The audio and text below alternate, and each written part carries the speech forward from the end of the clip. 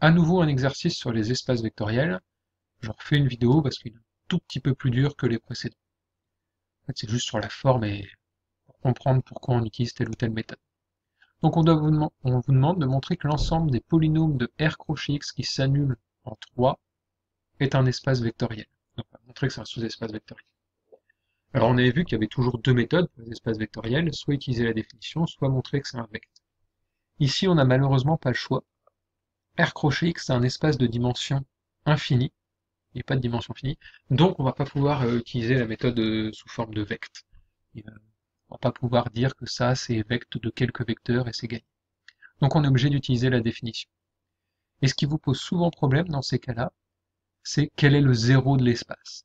Ici, c'est un espace de polynôme. Donc, le, polynôme nul, l'élément qui vaut 0 de l'espace, 0, indice R crochet X, le polynôme nul, qu'est-ce que c'est le polynôme nul? C'est un polynôme qui vaut 0 en tout nombre réel. Pour tout alpha réel, ce polynôme-là, je vais l'appeler 0, mais j'aurais pu l'appeler P si je voulais, il vaut 0 pour n'importe quel nombre. C'est ça la définition du polynôme nul. En particulier, être dans F1, c'est dire que quand je prends un polynôme et que je regarde en 3, il vaut 0. Bah, mon polynôme, là, 0 indice R crochet x, ce polynôme-là, si je le prends en 3, bah, comme c'est le polynôme nul, par définition, il vaut 0 en n'importe quelle valeur. Donc en particulier pour la valeur 3, il vaut 0.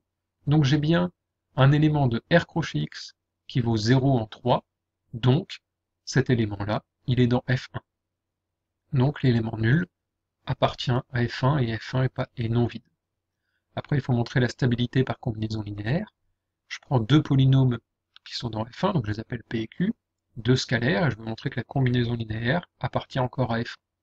Qu'est-ce que c'est être dans F1 C'est, si on prend le polynôme en 3, il vaut 0. Donc lambda P plus mu Q, c'est un polynôme, et je vais calculer sa valeur en 3. Bah, la valeur d'une combinaison linéaire en 3, c'est la combinaison linéaire des valeurs en 3, donc c'est lambda P de 3 plus mu Q de 3. Ah mais tiens, P de 3, comme P il est dans F1, ça vaut 0. Q de 3, comme Q il est dans F1, ça vaut 0. Donc ça fait lambda fois 0 plus mu fois 0, donc ça fait 0. Donc mon polynôme lambda P plus mu Q pris en 3, il vaut 0. C'est bien la définition d'être dans F1. Donc lambda P plus mu Q est dans F1. Donc on est stable par combinaison linéaire. Si P et Q sont dans F1 et j'ai des scalaires, la combinaison linéaire reste dans F1. Donc j'ai bien un sous-espace vectoriel. Donc là, on était obligé de revenir avec à la définition avec cette difficulté-là sur le polynôme nul. C'est la même chose quand vous avez une fonction nulle, c'est à peu près le même principe. Donc voilà, il faut faire attention à la rédaction, et là on n'a pas le choix, on est de venir par la définition.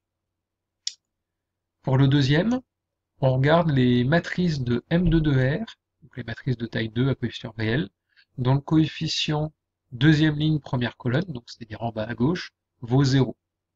Donc il y a deux manières de le faire. Le plus simple ici, c'est de dire qu'une matrice, si elle est dans F2, bah, elle n'a pas beaucoup de choix sur son écriture, elle est forcément de la forme coefficient, coefficient, 0, coefficient.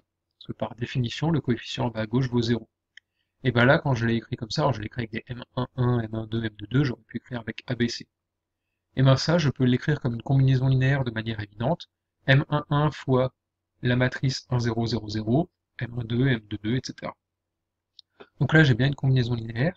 Et ça, c'est exactement l'écriture de dire que comme les éléments de F2 c'est tous les éléments de cette forme-là avec M11, M12 et M22 qui sont des réels quelconques, bah, ça veut dire que F2, c'est vect de ces trois matrices.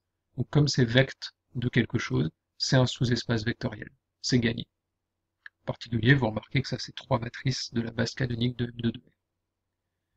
Euh, au passage, on aurait pu montrer assez facilement que ces trois familles sont libres.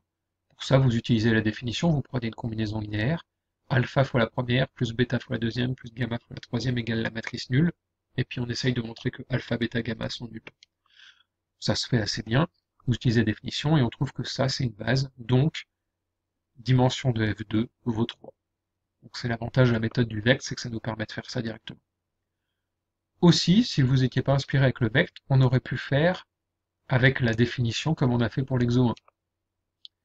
Pour le faire, alors j'ai pas fait les détails, mais il faut montrer que cet espace-là est non vide, donc le plus simple c'est de prendre, montrer que le zéro de l'espace y appartient.